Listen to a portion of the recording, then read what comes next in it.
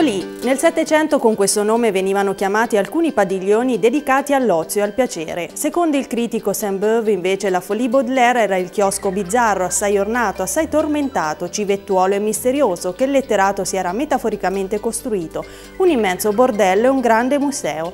Folie Baudelaire è anche il titolo del libro Strenna pubblicato per il 2011 da Banca Monte dei Paschi di Siena. Scritto da Roberto Calasso fa parte di un'opera in più volumi cominciata nel 1983 con la rovina di Cash, un viaggio attraverso un'epoca nel quale l'autore diviene guida all'interno di un percorso lastricato di immagini e storie. Baudelaire non era solo un poeta, era, era un grande prosatore e in particolare critico d'arte, se così lo si vuole chiamare, e comunque l'immagine in sé come fatto metafisico era per lui essenziale.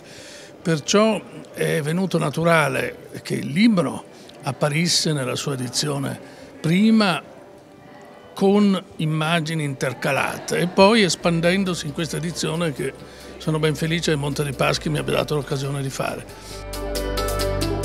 Una narrazione che evoca luoghi, terreni e non, un viaggio intrapreso dalla banca già due anni fa. Scelta che, che segue un, un legame, un filo che avevamo iniziato due anni fa con le nozze di Cadmo e Armonia, sempre di Roberto Calasso, riproponendo un libro edito in quel caso da molto tempo con una veste iconografica totalmente nuova e, e secondo me di grande qualità.